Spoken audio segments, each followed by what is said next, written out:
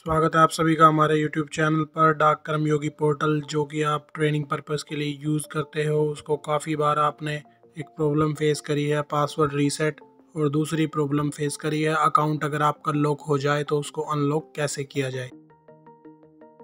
इस वीडियो में हम इस बात को एक्सप्लेन करेंगे। सबसे पहले हम देखेंगे कि आप अगर साइन इन करते हो तो आपके पास एक नोटिफिकेशन आता है रॉन्ग पासवर्ड का। अगर आप पाँच बार ऐसा कर दोगे तो आपका अकाउंट ही लॉक हो जाएगा, फिर आपको वो डिवीज़न ऑफ़िस से या एक दूसरा तरीका जो हम आपको बताएँगे जिससे आप वो अकाउंट अनलॉक कर सकते हो। तो जैसे ही आप साइन इन वाली टैब पर जाते हो, आपको सबसे लास्ट ऑप्शन मिलेगा फॉरगेट पासवर्ड और लॉक्ड अकाउंट आपको सबसे पहले अपनी यूज़र आईडी डालनी है एंटर यूज़र नेम के अंदर। यूज़र आईडी आपकी एम्प्लॉई आईडी जो सैप की एम्प्लॉई आईडी है, वो ही यूज़र आईडी होती है। आपने वो टाइप करनी है एट डिजिट की आपकी एम्प्लॉय आईडी है, चाहे आपकी डेजिग्नेशन कोई भी हो। तो आप सबसे पहले एम्प्लॉय आईडी इस बॉक्स में डाल लोगे। तो जैसे ही आप एम्प्लॉय आईडी डाल दोगे, अब बाय डिफ़ॉल्ट ये फॉरगेट पासवर्ड पर ही टिक है तो सबसे पहले आपका पासवर्ड रीसेट होगा।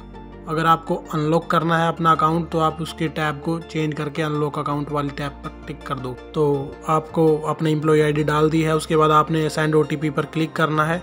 जैसे ही आप सेंड ओटीपी पर क्लिक करोगे, आपका रजिस्टर्ड मोबाइल नंबर के ऊपर एक ओटीपी चला जाएगा, जो कि आपको यहाँ भरना है। आप ओके पर क्लिक करो। उसके बाद जैसे ही आप मोबाइल पर वो ओटीपी रिसीव कर लेते हो, वो ओटीपी आप इस खाली बॉक्स में डाल दोगे और सबमिट कर दोगे। जिससे आपका जो पासवर्ड है वो रीसेट हो जाएगा।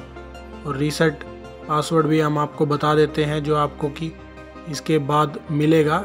ऐसे ही आप सबमिट पर क्लिक करोगे पासवर्ड जो है वो रीसेट होने के बाद आपको P T C at the rate one five zero nine ये आपका डिफ़ॉल्ट पासवर्ड है। तो जैसे ही आप लॉगिन करोगे, उसके बाद आपको डिफ़ॉल्ट पासवर्ड पहले चेंज करना होगा, तभी आप इसमें काम कर सकोगे।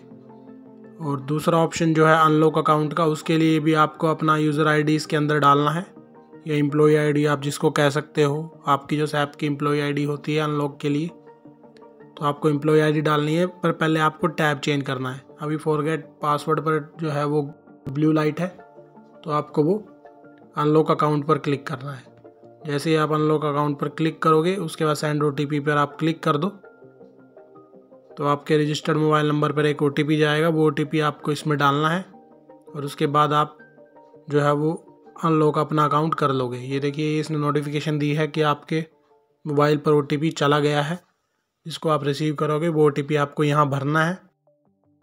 आप जैसे ही वो ओटीपी भर लोगे, उसके बाद आपको सबमिट कर देना है। सबमिट करने के बाद आपका प्रोसेस जो है वो कंप्लीट हो गया। उसके बाद आपको दोबारा साइन इन वाली टैब पर ही जाना है। साइन इन वाली टैब जो है वो दोबारा एक बार ब्राउज़र को रिफ़्रेश करके यहाँ से या फिर ये क्लोज़ करके कर सकते हो।